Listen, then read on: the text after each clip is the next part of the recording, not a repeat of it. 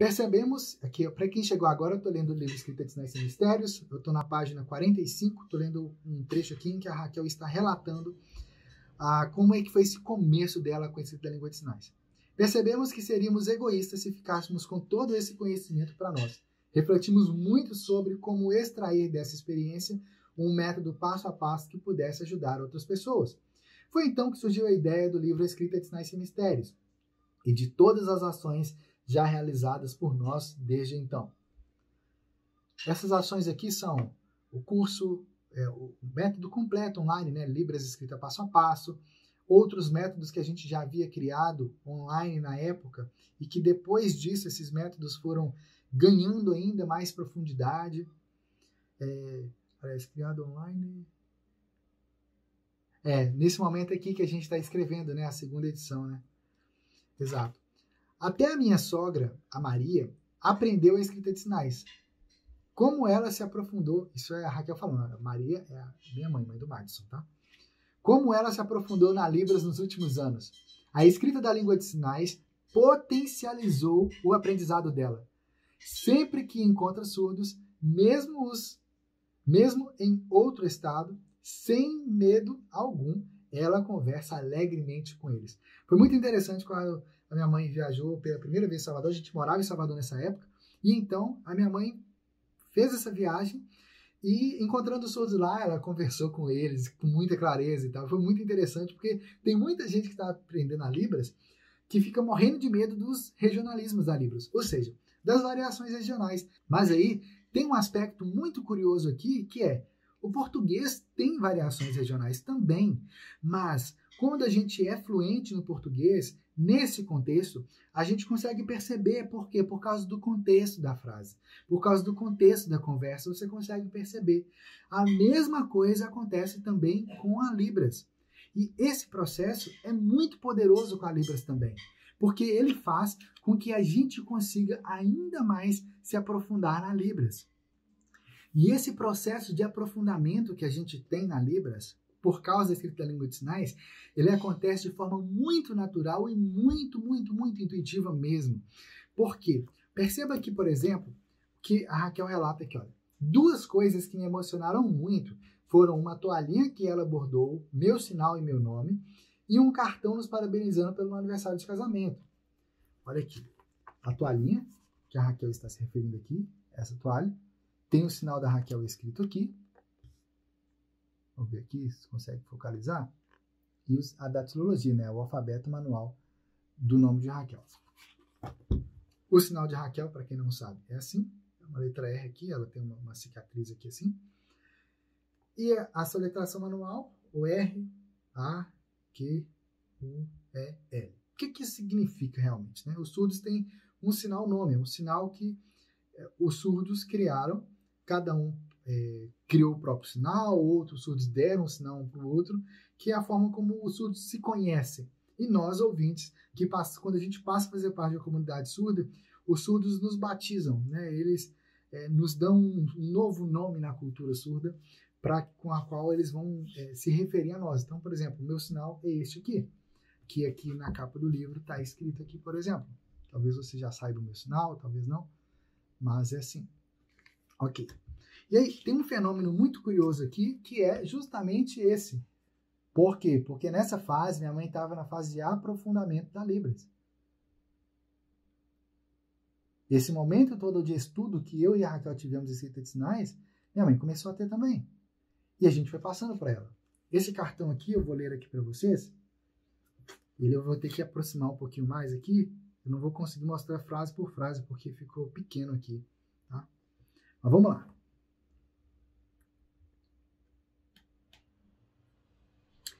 Parabéns para você, Madison, e também para Raquel.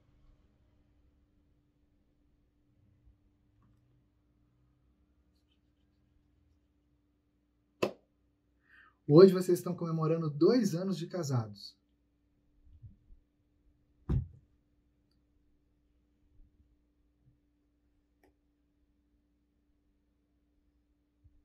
Deus abençoe a vocês sempre.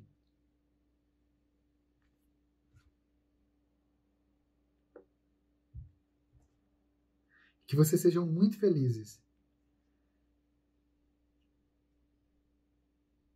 Ela escreveu o sinal dela aqui, escreveu o nome dela, Maria Barros. E aqui, pequenininho aqui, tá? Isso. 10 de julho de 2011. Ah, é de 2012. 2012. Tá pequenininho aqui, olha. Não sei se vocês vão conseguir perceber o quão pequeno ficou essa foto aqui. O cartãozinho era até maior, nem sei se dá para perceber aí. Mas aqui tem um aspecto muito interessante na escrita que minha mãe fez. Mas assim, muito, muito, muito interessante mesmo. Que é, olha o que minha mãe escreveu aqui nesse trecho. O nível de libras que ela passou a ter por causa da escrita. Esse parágrafo aí. Essa frase, melhor dizendo. Em que ela faz assim, ó. Se a gente fosse é, traduzir sinal por sinal, seria assim: hoje, anos, dois, casar. Olha que interessante essa frase que ela escreveu. Por quê? Porque a maioria das pessoas que estão começando a aprender Libras agora, ou até de pessoas que estão há um, dois, três, quatro, cinco, seis, sete anos estudando a Libras, jamais sinalizaria essa frase assim. Hoje vocês estão comemorando dois anos de casamento. Jamais sinalizaria essa frase dessa forma aqui. Por que, que essas pessoas jamais sinalizariam dessa forma? Por causa do famigerado português sinalizado. Português sinalizado é você ou falar e sinalizar ao mesmo tempo, achando que tudo vai ficar claro. Isso não funciona. Ou você sinalizar, ali, fazer a Libras na estrutura gramatical do português. É, eu já vi, por exemplo, pessoas fazendo esse tipo de frase assim, fazer assim.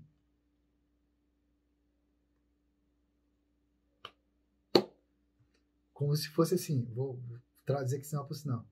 Hoje, vocês, eu não sei se eu fiz assim assim, né? vocês dois estão fazendo é, dois anos no futuro de casados. Mas qual é o problema dessa frase? Esse sinal aqui, fazer, no português, a palavra fazer é um verbo auxiliar, né? Você pode usar fazer para fazer qualquer coisa. Né? Até nessa frase aqui funcionou bem. É... Mas na Libras, esse verbo não pode ser usado dessa forma. O verbo fazer na Libras, ele está relacionado a você fazer algo, de você... É, é tipo assim, o que, que você está fazendo? Né? O, qual que é o detalhezinho daquilo que você está mexendo com as suas mãos? Ele tem esse significado. Não tem nada a ver com fazer aniversário de casamento, nem como fazer almoço, é, muito menos com fazer dois anos de casados. Né? Então, a frase que minha mãe fez, escrita aqui, está totalmente na gramática da Libras. Teria outras formas de se fazer essa mesma frase? Teria. Mas olha que interessante, ela percebeu o espaço que ela tinha disponível aqui nesse cartãozinho, ela percebeu a mensagem profunda que ela queria trazer aqui, de felicitações, desejos de bênçãos, de felicidades. Ela escolheu cada sinal que estaria aqui. Quando a gente escreve uma carta, um bilhete, uma mensagem para alguém, a gente faz assim também. Você escolhe as palavras, você escolhe. E você monta aquilo ali. E o que ela fez aqui ao montar essa frase em Libras foi justamente isso. Mas ela fez isso na gramática da Libras. Enquanto tem um tanto de gente aí quebrando a cabeça, tentando aprender como é que funciona a Libras, minha mãe não só fez a sinalização escrita aqui, né? Como ela fez escrito um cartão completo, entende? Isso aqui foi um dos cartões que ela deu pra gente de aniversário de casamento ou de outros contextos. Ela já deu inúmeros cartões assim. Até depois que a gente tinha mudado de estado, ela já tinha, ela escreveu o cartão no papel, tirou a foto e mandou para Raquel, ou para mim, ou para gente, conforme era a ocasião. Percebe que interessante isso? Então, o grande poder da escrita da língua de sinais é que é divertido, porque é algo lúdico, né? Parece que você está brincando ali com aquilo. Mas ao mesmo tempo, é muito profundo, porque você vai pensando direto em libras para você fazer. Você vai pensando de forma visual, como os surdos fazem. E isso é algo assim incrível, porque te leva a um aprofundamento muito grande na Libras e muito rápido ao mesmo tempo. Então, a escrita da língua de sinais, ela traz essa possibilidade imensa de você se desenvolver na Libras e de você se desenvolver cada vez mais. é, é, um, é um espiral ascendente. Você vai se desenvolvendo mais e mais e mais e mais e mais e mais e mais e mais e negócio parece que não tem fim. Por que, que eu falo que parece que não tem fim? Porque até hoje, todas as vezes que eu uso a escrita da língua de sinais, eu percebo que a minha escrita está mais clara e que minha sinalização também está mais clara. Eu percebo que a sinalização da Raquel está ficando cada vez mais clara. Eu percebo que todas as pessoas da equipe da Universidade da Libras, nosso time aqui, que vão usando a escrita da língua de sinais, a sinalização vai ficando mais clara. Até algumas pessoas do nosso time falaram assim: olha, tal sinal eu aprendi foi por causa da escrita da língua de sinais. Eu vi escrito no livro. Olha que interessante isso. É, eu lembro quando a gente estava no processo de criação do método fluente em Libras, o sinal do método fluente em Libras. É assim que vem a ideia de o cérebro fluente e, ao mesmo tempo, né, dessas mãos fluentes, é, que todo o processo de planejamento do método fluente em Libras foi feito direto em Libras. A gente não ficou fazendo rascunhozinho no português. Pô, a gente vai ensinar Libras, vou escrever em português? Não faz sentido, né? Não faz sentido. E naquele processo, a Raquel foi escrevendo sinais, a gente foi, a gente já estava no processo de catalogação dos sinais mais usados ali, a gente foi registrando esses sinais em libras. Depois passou por um processo de revisão e tal. E aí depois, quando a gente chamou, convidou um outro professor surdo também para fazer parte e filmar as aulas junto com a Raquel, as aulas de sinalização prática na Libras, o que, que aconteceu? A gente novamente usou a escrita da língua de sinais. Adivinha com quem que esse professor aprendeu a, a escrita da língua de sinais? Com a Raquel. Olha que interessante isso. Só que o mais interessante é que quando eu conheci esse surdo, ele já tinha um nível de profundidade linguística na Libras assim muito grande, mas assim enorme mesmo, muito grande. E aí eu percebi que os dois surdos que eu conheci que sinalizavam com mais clareza era Raquel e ele. Só os dois. Só que aí com a escrita da língua de sinais, Tipo, aquilo que ele já sinalizava com clareza foi assim, ó, para a estratosfera, sabe? O negócio assim decolou ainda mais. Então, esse fenômeno de aprofundamento na Libras por causa da escrita acontece com surdos e acontece com nós ouvintes também. Nós ouvintes eu acho que tem muito mais, muito mais espaço para você crescer ainda na Libras, né? Porque, espera e pense comigo, se esse fenômeno acontece com o surdo que já é fluente na Libras, que dá aula de Libras e que tem toda a profundidade linguística natural da Libras, mais dos estudos, pesquisas que as pessoas fizeram, e mesmo assim, a escrita da língua de sinais traz esse aprofundamento enorme assim. Agora, imagina eu e você que somos ouvintes, o nível de profundidade que a escrita da língua de sinais traz.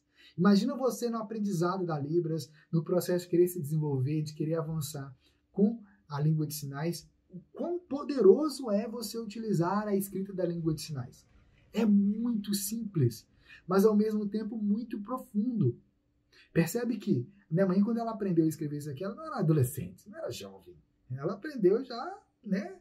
Ela já era bem adulta já, poxa, já estava casada já, entendeu? Então, é, isso significa que Qualquer pessoa, independente da idade, é capaz de aprender a ler e escrever a Libras também. E qualquer pessoa é capaz de aprender e se aprofundar ainda mais na Libras também, se desenvolver ainda mais. E o livro Escrita de Sinais e Mistérios, ele tem justamente esse objetivo, de te ajudar a se aprofundar ainda mais na Libras, se aprofundar ainda mais na sinalização prática na Libras. Olha que interessante isso, porque aqui no livro é, quando chega nessa parte prática, né, que você começa a ver os sinais escritos aqui, você vai vendo as fotos, né? Você aqui, por exemplo, nesse sinal aqui, olha. Você vê a foto, isso aqui para quem não sabe sou eu, tá? Mas numa versão com cabelo curtinho. Você vê a foto e vê o sinal escrito, percebe? E aqui você percebe a lógica, olha, o círculo representa a cabeça, essa mão aqui, a metade preta, representa essas, a costa da mão aqui, as costas da mão. A parte branca representa a palma, que é justamente o que a Raquel já tinha explicado aqui, ó, algumas páginas antes. Aqui, ó, nesse trechinho aqui, ó. Vou ter aqui três páginas. Aqui, ó. É o que ela explicou aqui, ó. A mão, quando é feita de lado. Ah, mas na, no sinal que você mostrou agora, Marcos, a mão estava inclinada. Sim, a mão estava inclinada. Por que, que a mão aqui está inclinada? Porque na, na sinalização também está inclinada. Óbvio. Mas é óbvio, na hora que você pare e olha assim e leia, observa o detalhe. É só, é só observar. O que eu estou explicando aqui para você dessa página é isso. Percebemos que seríamos egoístas se ficássemos com todo esse conhecimento para nós. Refletimos muito sobre como extrair dessa experiência um método passo a passo que pudesse ajudar outras pessoas. Foi então que surgiu a ideia do livro Escrita de Sinais e Mistérios e de todas as ações já realizadas por nós desde então. No livro você aprende como ler e como escrever a Libras através de um sistema de escrita internacional chamado Sign Writing, que no Brasil a gente chama de escrita de sinais. Através desse método, você vai ser capaz de escrever qualquer sinal que você estiver aprendendo da Libras, ou de pesquisas que você estiver realizando, ou na preparação de uma interpretação que você está preparando, você vai buscar novos sinais, você vai preparar a interpretação, e também daquilo que você está buscando para você aprender e se aprofundar ainda mais na Libras, tanto aprendendo novos sinais, quanto registrando ali, fazendo essas anotações no dia a dia desses sinais, ou mesmo de frases da Libras. Sim, a escrita de sinais pode te ajudar a se desenvolver ainda mais na Libras nos mais diversos aspectos. Independente do nível que você está, que você tem agora na Libras, você, com a escrita da língua de sinais, você pode aprender, se desenvolver e avançar ainda mais na Libras.